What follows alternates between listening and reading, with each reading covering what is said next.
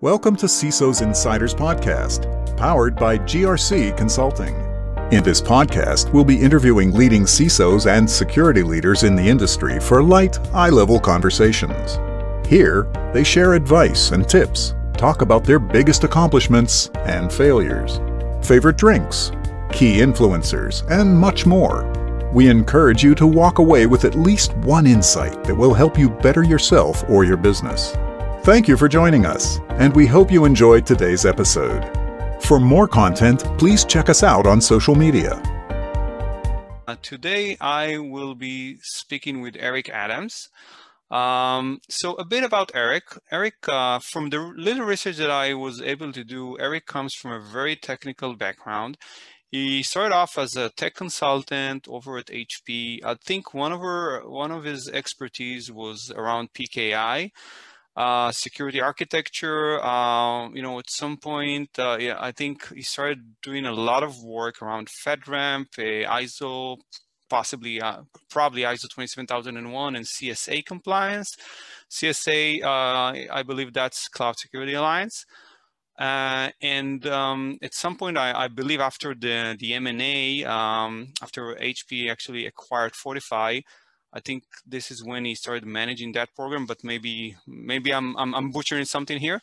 Um, uh, he, he then spent uh, about two and a half year period at over at IBM as the chief FedRAMP uh, strategist and architect before moving to his current role at uh, as a full-time CISO at a company called I want to say Kyriba. Yes. Okay. And Correct. again, I'm I'm sure I missed out on a lot of, of, of aspects. So if you want to, you know, just do a quick intro, that would be great. Yeah, no, that's pretty accurate. So uh, worked for HP for about 20 years, various security positions within HP. Uh, started very customer facing, uh, then uh, grew into more of the IT data center roles. That was early on when HP and Compaq were merging together. So was through a lot of that data center consolidation and all of the security um, things that were going on in the back end. And then uh, after that, you know, got into uh, imaging and printing group, which was very the, one of the largest divisions within HP, and that was uh, in my hometown area, of Boise, where we have a large HP campus. And um, after that, got into federal, and then beyond federal enclaves with federal cloud security uh, with a Fortify group, which was an acquisition into HP as static code analysis.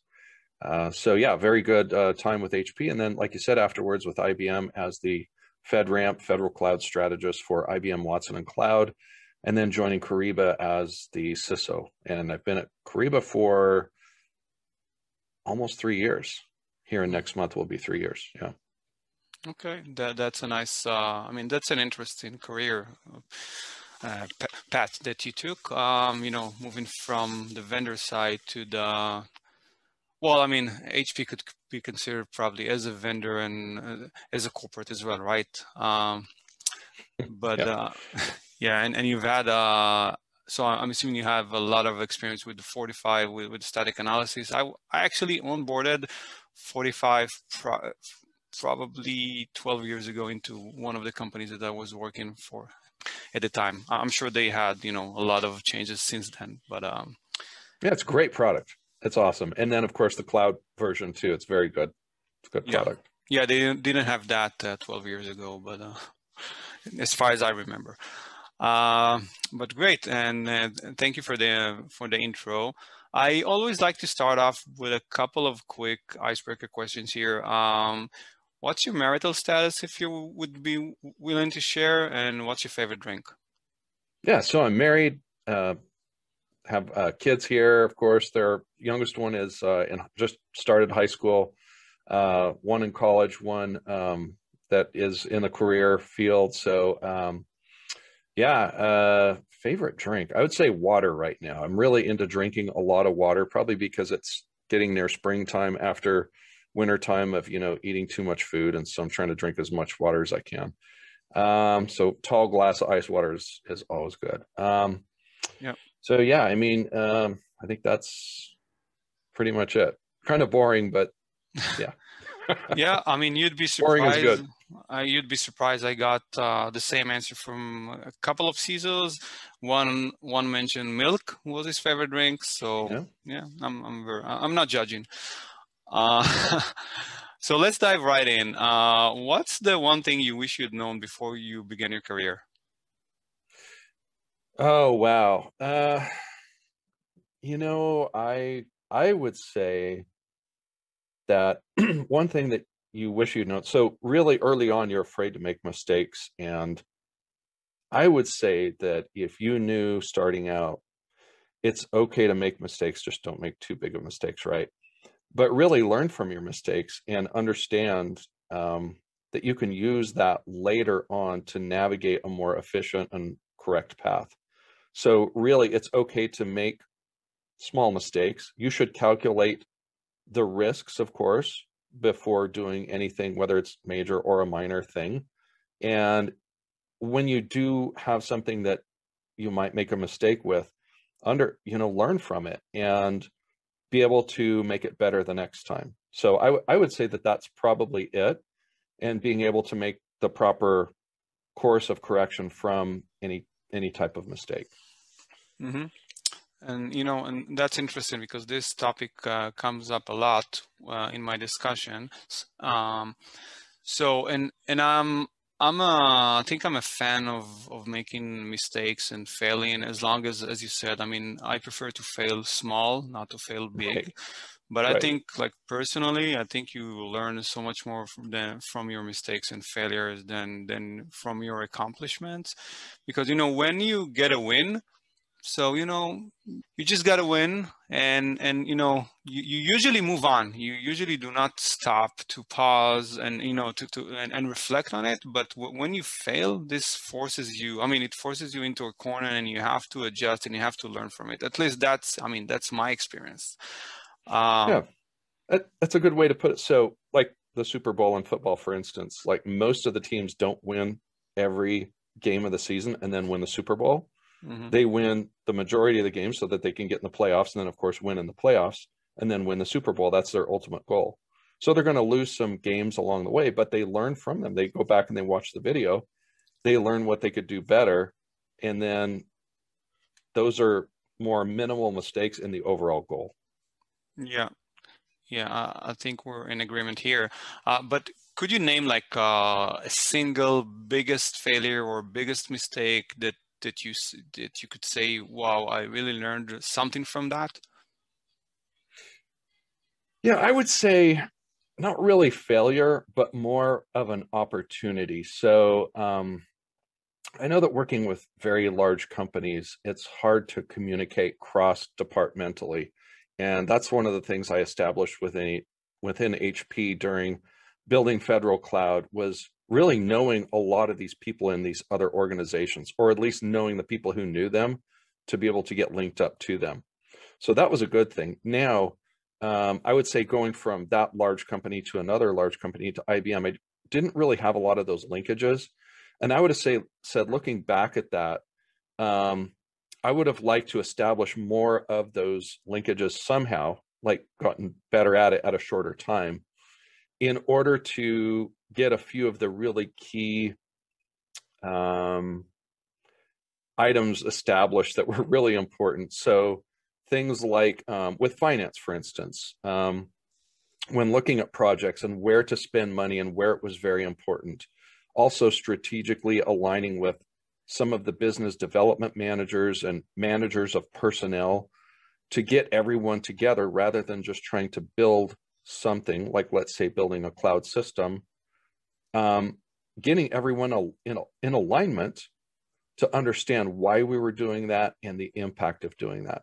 I think, you know, looking back at that, it would have probably made a bigger impact if if that would to have occurred, really.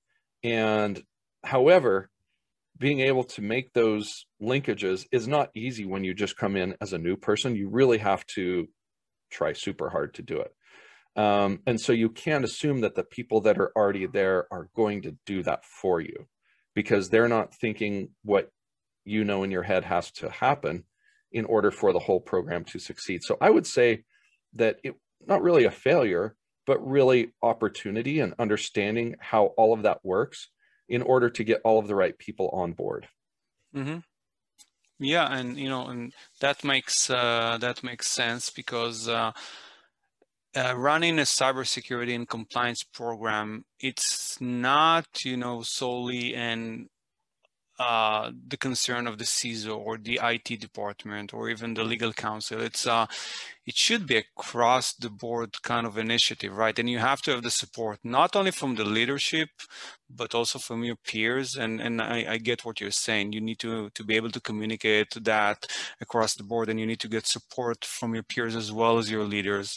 So, uh, I'm, and I'm assuming that that was the the intent of of of your answer, right? Well, absolutely. And to make a cloud system, so if you have a business unit with a cloud system and you're building it and you're putting it towards a specific um, target customer uh, base, um, you really need that ongoing support of all of those areas. And they need to be in alignment for it to be sustainable long term and to ensure you've got the right components to keep it going at the correct level. So really it's part HR, part finance, um, part, you know, the business unit leadership, all of those pieces have to be in alignment. Yeah. Agreed. And and uh, so and again, you, you talked a bit about your uh, you know the, the, mistakes and what you can learn from them. Uh, can you can you name or is there any like single biggest accomplishment that you're really proud of that that you wanted to share? Well, I would have to say probably the accomplishment, you know, of building a federal cloud system for HP. And really the reason, the core reason of that was um, working with the personnel at Fort Knox at the U.S. Army. So mm-hmm. working as an HP employee, working with both civilians and military personnel, um, and training them at the site. And then they're using the product, which is an on-premise product, but understanding that there's a cloud version also, and they can't use that without this authority to operate that government systems have to use. And so really when that started to have a cloud version of authority to operate through the FedRAMP program, that's when I, I looked at it and I said, wow, this paperwork is NIST 853. I'm used to doing this with federal enclaves working in other um, business units for HP, working for CMS.gov and others. And so really it made sense. And so how that made me feel the best was I was able to help um, this customer because they said, look, we'd like to use your cloud system. We would like to get our personnel focused on their core business objectives.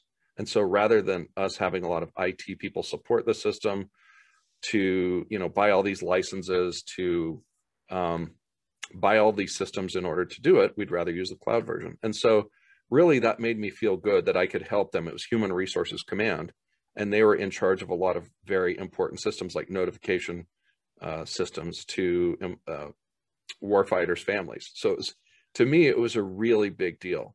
But then also realizing that we could help other people in government because if we got this first customer um, brought on, then we can help all of these other government customers in the same um, scenario and with the same capability need really. And so getting that authorized was a was a really big deal. It made me feel good, and it was very good for the company too. It created a whole new, basically, business unit for the company to be able to sell to U.S. public sector. Yeah, it, does sound like a big accomplishment here. Um, and you know, nowadays I think uh, the cyberspace, cybersecurity space is is very is very hot. Uh, you know, being a cybersecurity consultant uh, or even a CISO. Uh, I, I heard actually I heard someone say in one of the conferences a few years back that nowadays CISOs are considered are uh, equated CISOs to rock stars. I'm not sure I, I agree with that, but uh, it's definitely you know perceived much more as a sought after role. Did you did you wanna um, um, did you want to give any advice to someone wanting to pursue a career in cybersecurity, eventually becoming a CISO? Well, uh, yeah, it's interesting. I don't know if uh, I would be like a rock star. That sounds like a much more adventurous uh, life than a chief information security officer. But um, I would say, really, you know, starting out with a path as possibly a security analyst. And really, my path was more building systems and deploying systems. So this is back in the days, you know, 20 years ago in a large enterprise data center, basically having a system engineer rack a system for you and then remotely, well, remotely it was the building next door, um, building the system and building it to the proper specifications and then doing security hardening and then also ongoing monitoring that system and other systems for security events. That's where kind of it really started. And then myself going into more just security specific roles. However, now, you know, security operations center analyst is a very big um, way to get into security and understanding it. But also, I think building security is very important. And that's one of the things that I ended up specializing in, um, especially designing systems for a FedRAMP cloud and understanding, you know, all of the architecture, the VLAN architecture, the software defined networking, um, all of the components that are expected um, by government systems, and then all of the security controls, of course, too, and then how to document and test those. So I think really for a person starting, if you can start into a particular area, but then, um, you know, a good thing is to, if you have an opportunity and raise your hand and say, yeah, I would like, I would like to learn how to do that other thing that you need help with, you know, volunteer for other parts. And that's really how I was able to, I guess, grow you know 20 years or so ago is to volunteer to do a lot of these extra things not just do what was with within my comfort zone and then also with wanting to be a, a chief information security officer really understanding and thinking about risk so everything is risk based there's so many resources that you have to um, counteract risk and understanding how to balance those and what is appropriate. Mm-hmm. Yeah, but uh, you you described the transition from you know being very technical, being an architect, being able to build security, and by doing so, having to understand uh, intimately like the security components, the architecture, the you know all this all the tiers like the application tier, the network tier, and so on. But you know the then making a transition at some point from that world and then being able to talk about risk and being able to talk about the business i think that's uh, um, do you have any insights around that? Like how to make that transition? Because i, I believe uh, you, you, can you know you can i talk to a lot of CISOs and you have all kinds of CISOs you have those who grew up from you know from being IT professionals, from being hackers, from all kinds of of security security domains. But but then you know like how to make the transition in in such a way that you on one hand you'll be able to to i mean to still hold your baseline of, of knowledge but but on the other hand to be able to talk to leadership does that make sense i mean no, it completely makes sense. And one of the things, and I have to thank HP for this, they paid for me to go to school while I was at HP to get my MBA. And so understanding a lot of those business components and what other people were interested in in these other business units. So, you know, CFO looks at things like statement of cash flows, um, balance sheet, all of these things and so all of these IT things are a cost. And so when you're doing budgeting and planning, it rolls up, it goes into your costs, your ongoing costs, any new costs. Um, and so understanding how, how all of that works at the business level is very interesting to me to understand um, what type of security controls to evaluate, what what gaps there are, being able to do that testing and saying, okay, well, we're pretty good in this area. Here's something that we found maybe we could do better. Meeting with vendors, understanding what is available, seeing if we really need it or not, if there's any overlap. and then also working with that business side to say, okay, we think we need to procure this. Let's approach finance. Let's put it in our budget for yearly budget and planning, be able to explain it, explain more the business side of it, but knowing the technical side. I think that for me, that's really good because early on having a technical foundation and then learning more of that business side really helped. Mm-hmm. Okay. And um, and, I, let's talk a bit about uh, inf- the cybersecurity or information security structure, like the, the organizational structure. So some companies, in some companies, the CISO reports to uh, an IT function, might be the CIO, might be the CTO. In others, the C- CISO might be reporting to uh, a different executive. What's your? Do you have any thoughts about like the pros and cons of uh, of of a CISO that's actually a part of the IT organization? Anything like around you know conflict of interest or anything around that? Well, good point. Um, in my organization, so I report into the CEO, and that makes sense in some organizations. Maybe it doesn't make sense. In our fintech industry, um, I think that it does make sense because of separation of duties and conflicts of interest. Um, definitely. In fact, we have a, a, partner that did a security program assessment, asked about that reporting. It makes sense in our industry. So I, I think that that uh, it does make sense. But it again, it depends on what type of industry you're in, what the company structure looks like, how it's designed, what type of product or service that you're selling. It just it, it just depends on those factors. Mm-hmm. Okay, that's insightful. We actually, actually, uh, we we do have a few customers in the fintech space. Some of them report into IT functions, others do not. But yeah, I, I, I guess you're right, and I guess it also goes back to the to the company's culture and you know and, and openness maybe. And uh, I think mostly around culture, but that's just just my assumption here.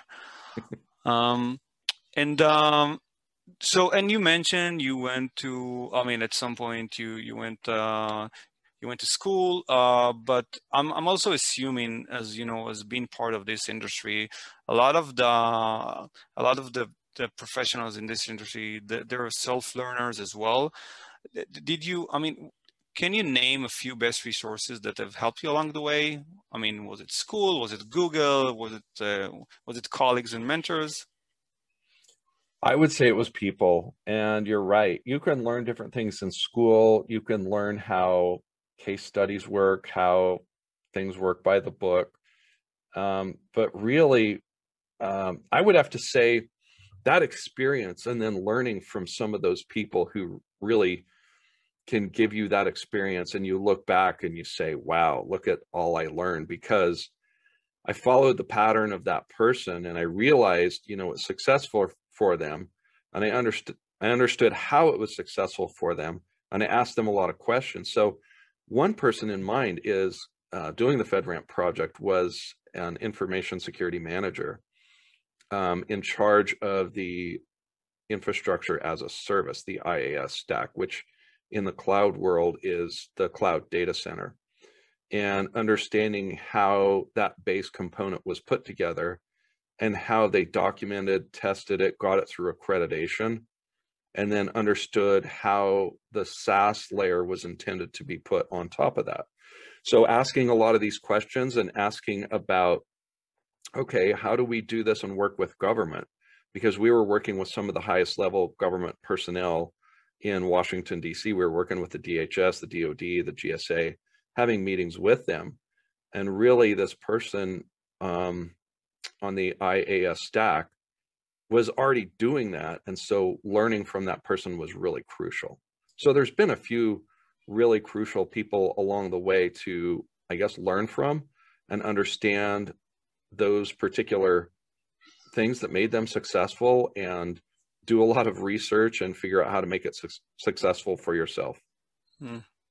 Okay, and, and this actually leads me to my next question. Do you have any specific individuals in mind you wanted to name here? And I would I would understand if if those names are are like uh, confidential.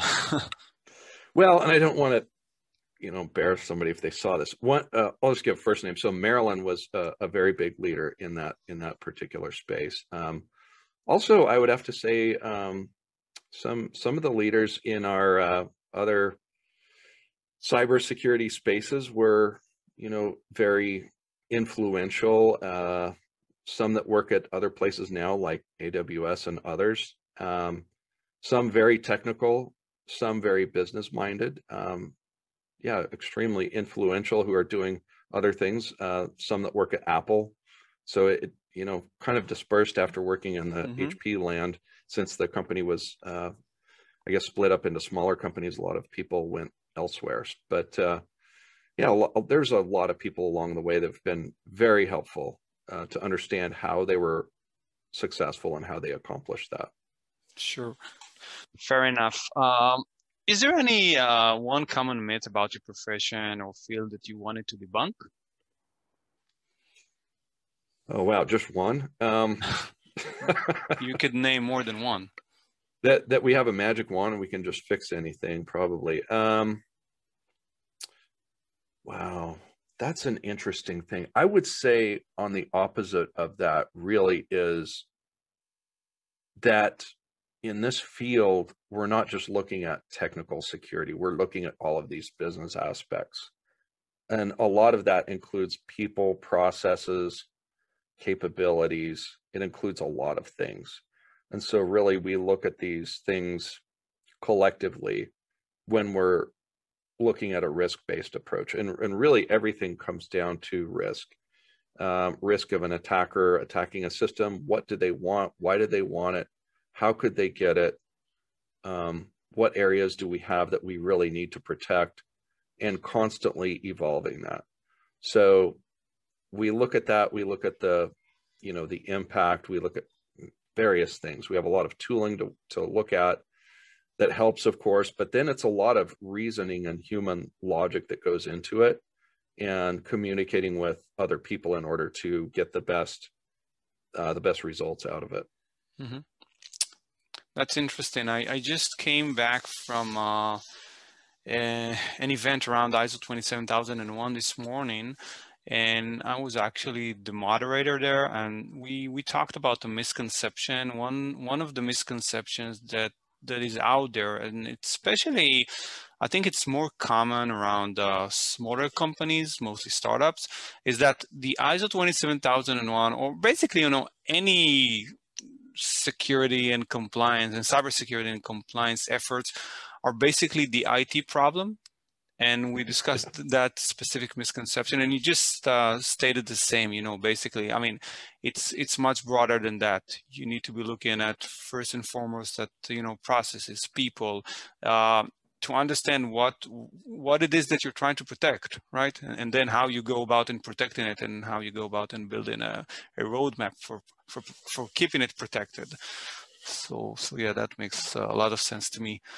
Yeah, absolutely. And IT plays a huge role in it of ensuring that a lot of these capabilities are rolled out and then information security works with IT very closely to ensure that the configurations are what the policies, um, that it meets the policies basically, and then reviewing those policies constantly and ensuring that that's the right level of risk that the company is, you know, willing to take. So I think it is very important to see those as two distinct areas, although they work very closely together. Mm-hmm.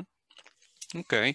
Um, can you share, like, uh, in your opinion, what are the main concerns that CISOs nowadays have? Oh, the main concerns. well, you know, I, have been hearing a lot about, you know, supply chain, but but you know, it could be any any number of things, and I'm just trying to, you know, to ask this question re repeatedly when I speak with CISOs. Well, yeah, I mean, some of the recent things. So the SolarWinds with a supply chain type of attack, and we got a briefing on that very early on. Um, being a customer of um, not the SolarWinds itself, but the uh, uh, company who I guess gave the alert on it right away, and understanding more about that, like what are what are the impacts of that, and um, how could we see similar things and really accounting for for that type of risk? So luckily having a very extremely mature and capable security operations center that's one of our first lines of defense and being able to look at logs and anomalies and correlations and all of these feeds that come into our system artificial intelligence we have many different types of capabilities um, that we look at but then really breaking down what that how that attack worked, how it was able to infiltrate. And there's many of these. There's the recent Microsoft Exchange uh, on-premise Exchange server um, event that went on too. But just really being in tune with a lot of these things that happen and understanding how you would react to one of these, even if it doesn't affect you, um, understanding how you would how you would work with this. So we at our company we do a lot of not only just penetration testing, but we do red teaming, and we understand and we watch as teams try to break into systems and understand what they're trying to do, and it's very interesting. And sometimes you know kind of letting them progress, but knowing where they're at the whole time. And so we do a lot of these target targeted attacks and simulations in order to continually get better. And I think that's very important because then we're keeping current, of course, but also we're ensuring that our methodologies are working properly, our processes are working properly, and we know how to react properly. Mm-hmm. And, and you keep testing your security posture, right? Absolutely. And here's the great thing um, our CEO and our um, executive level, our board, are extremely um, supportive and really cybersecurity is the number one thing at our events. That's typically our CEO will come out, he'll greet everyone. and that's what he'll say is he'll talk about cybersecurity because in the fintech world, when you're working with banks and these other large customers and you're working with financial, that has to be your top priority. Mm-hmm. And you know, can you share a bit about your uh, your daily routine? Like, what's a typical day looks like for the CISO of, of Kyriba? Oh wow, uh, typ- typical day. Okay, I'll have to look at my calendar and see what happened. Um, no, typical. Well, it's interesting. Our company was started in Paris uh, in the early 2000s, and then started getting bigger, got a lot of European customers, which was uh, fantastic. And so having that Paris base and a lot of uh, personnel in Paris, of course, where my time zone is, it's uh, quite a bit earlier. So I get up early. Um, I was used to getting up early, though, working with a lot of East Coast personnel. And I just naturally developed a pattern of getting up super early. So um, I'm typically online and going just after noon sometime when personnel or just after noon Paris time, I guess, uh, in Europe. So um, I start out working very early and then I'll take a short break to exercise, get a little bit of food. And then typically my calendar of events starts after that. So um, there's a lot of activities that happen, a lot of recurring meetings that we're looking at risks. Um, some of those flow into ISMS where we have that risk treatment that is part of information uh, security management system of ISO 27001. Uh, we have a lot of other things looking at newer capabilities, uh, looking at the team activities and projects where we're looking at gaps. Um, and then also things that come up, of course, and uh, working with other teams and also supporting our customers. A lot of customer meetings where they're very concerned about cybersecurity, whether it's prospects or existing customers and uh, understanding their needs as well. So that's a, a, typical day. I work pretty long hours because of that schedule. Sometimes I might get a 20 minute nap in about three o'clock local time after all of that, and then continue to work a little bit longer, digging through emails and whatever else has to happen. So going from, I guess, going from uh, European time all the way through uh, Pacific time, it keeps me busy during a typical day. Yeah, tell me about it. Uh, and did you notice any any uh, trends uh, as as they relate to budget planning and you know changes from previous years, like 2020, 2019, 2020, as opposed to 2020, 2021? Yeah, so industry uh, generalization of that um, is, of course, personnel working remote and especially in a cloud system, of course, it's different because a lot of people are more concerned with, of course, VPN licenses, number one, ensuring that uh, employees can work remotely safely, um, possibly distributing more laptops, etc. Now, our company, we're, we've always been a cloud-based company. We have major offices in Paris and also San Diego, and then other offices in London, Tokyo, uh, New York, and others. So really personnel were always equipped to be able to work remotely because they would just go into the office, they had their own laptops, and they uh, had their own VPN setup. And uh, so that was already established for us. It wasn't it wasn't really a huge um, change up, except that we couldn't go to the office. Mm-hmm. And also, we had a very thorough business continuity plan uh, along with our disaster recovery that was part of our overall information system contingency plan. And we had just really uplifted that capability in 2019 so that when 2020 hit with the pandemic, we were already ready with an externally facing business continuity plan and COVID response right away, which was huge. So that was really mm-hmm. good. We must have had some crystal ball somewhere, I guess. Um, but I would say, as part of the question, though, really for for our company, it's not not a whole lot different. Really, we're I mean we're we're looking at opportunities, and we're looking at spending in order to enable those opportunities. Our growth is very good, and so that's we're on this growth path. Um, and of course, for cybersecurity, again, looking at any gaps, we have the ISMS that identifies these. Um, typically, they're at the level in the trenches, they get escalated up, and we have risk treatment at the, I guess, management level and discuss how we're going to address those. But really, not a whole, not a whole lot different. Mm-hmm. Okay, um, thank you. Um, let's, uh, you know, we, we've come to the second part of this podcast and we'll try to keep it relatively short because I want to be respectful of your time. We have around uh, 10 to 15 minutes left here. Um, so uh, a few quick questions about vendors. Uh, if you put yourself in the shoes of a vendor just for a moment, what is it that you that you would do when looking to engage with uh, with a new customer?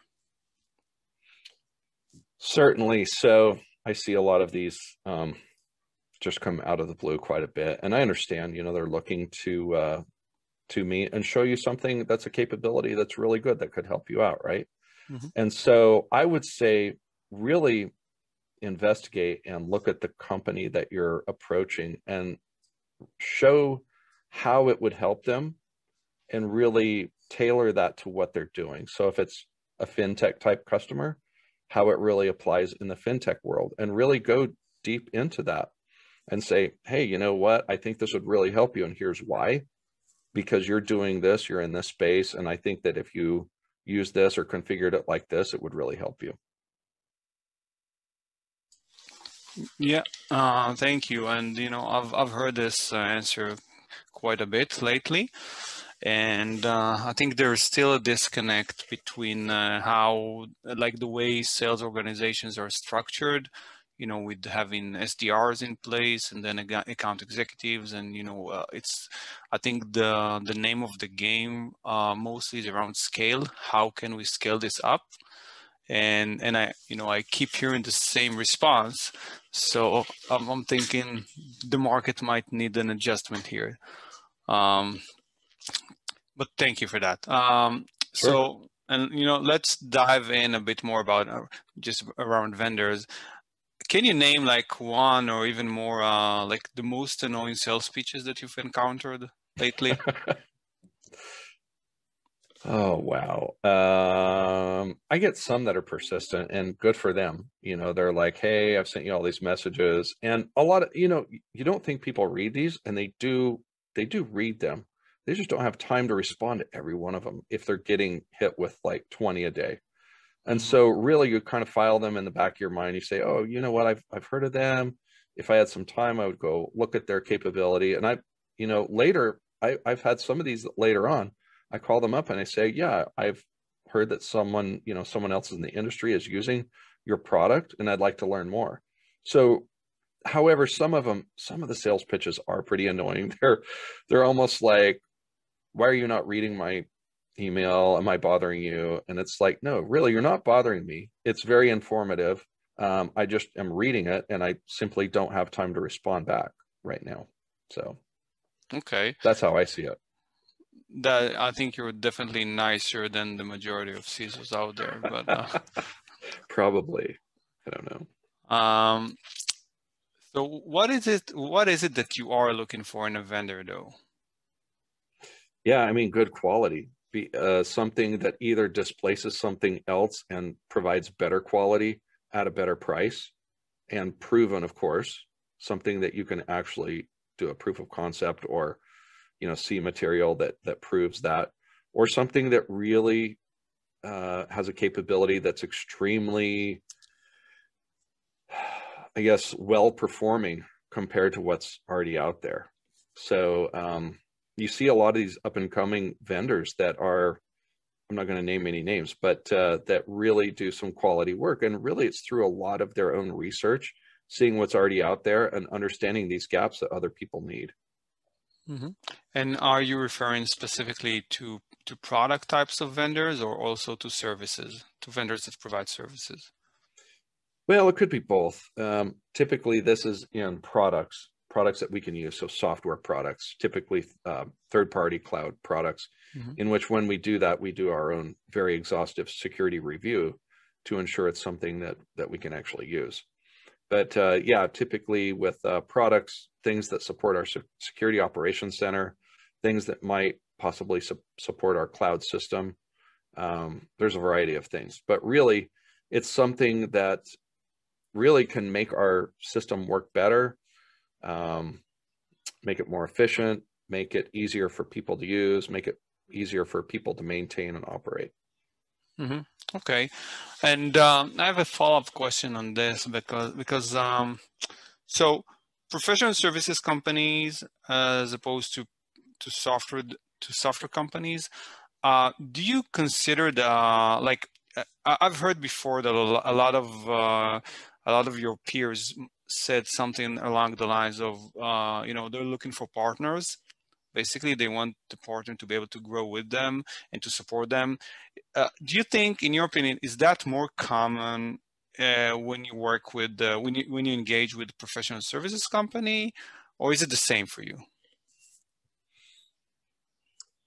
Oh wow, um, it just depends depends, I guess, if I understand the question right, and also the implementation and how difficult it is to implement. So, I mean, maybe there might be something better where it's done under a professional services arrangement. Um, if it's something that we don't want to manage, that'd be more of an MSSP or something like that. But uh, it, it just depends what it is. We have a variety of different capabilities and we onboard and integrate them differently. Okay, let, me clarify because I feel I didn't ask the question properly. Uh, if, uh, let's say you have a relationship in place with a with a company that let's say does your ISO 27001 audits or you know or uh, maybe alignment or, or PCI uh, attestations, do you consider those types of vendors like more like along the lines of partners than the mm. other vendors that provide software solutions for you? Oh yeah, I get it. Uh, that makes sense now because no, I really do see, like say, our auditors as trusted partners. Although they have that particular, you know, separation of duty as an auditor, they're not, you know, they're not your friend. they're not. They're not going to do consulting. I guess I shouldn't say they're not your friend. They're really nice people. I, I really like our auditors. They're fantastic. They do a good job and they make us better. They really do. At the end of the day, if there's findings, those those make us better, and that's that's how I see this as um, continuous improvement. Um, of course, we don't want to find very bad things, so we prepare for those and we make the system as uh, as secure as possible as we possibly can. But uh, yeah, no, I, I do see them as as partners really because they are helping us uh, make our system better. Mm-hmm. Okay, uh, thanks. And um, do you have any specific? And I know you don't like to name names, so um, we might skip this one. But if if if you if you will be willing to name some names, if you had any other CISO that you look up for, do you, you look up to? Sorry. Yeah, there have been other ones. I mean, ones that I've worked with at IBM, at HP, even at smaller companies, um, whether it's Bay Area companies, East Coast companies, um, CISOs in government. Uh, it's good to meet CISOs. Just met uh, one last week in government, and he was a helicopter pilot and had extremely uh, wild stories that were very entertaining. So it it just depends. There's a whole network of other CISOs that uh, that really I look up to, and usually it's for different reasons because they're they're in different types of markets, different um, you know areas of expertise, and so they're very good at understanding their own business and what's important. And so there's there are quite a few that uh, I've been on different panels, and so I listen to what they say, and it's very interesting, and I write down a, a lot of this, and some of these things I'm able to interject into what we're doing. Mm-hmm. Okay, that, that's the power of, of community, right? Right, absolutely. Mm-hmm. Um, is there any way our listeners, possibly also vendors, can connect uh, with you online in a non-intrusive manner?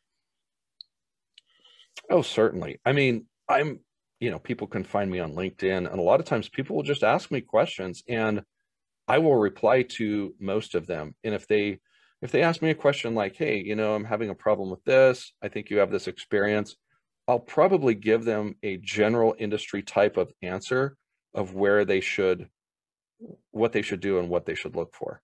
So certainly I'm I'm yeah, I mean there there are ways that people can connect to me in that non-intrusive uh, manner for sure. Mm-hmm. Okay. Um, is it one is it is there one single most important thing to you in your career that you wanted to to name? Wow, I would say, you know, and this is true of any company is doing my best job to keep that company safe from cyber risk. And that's that's really the most important thing and I just focus on that. You know, you see coaches and they they'll say, "Oh, wow, you're playing like the Packers next week or, you know, who, whoever's really good." uh, two games from now, and they'll say, "Well, no, we're just focused on this game this week.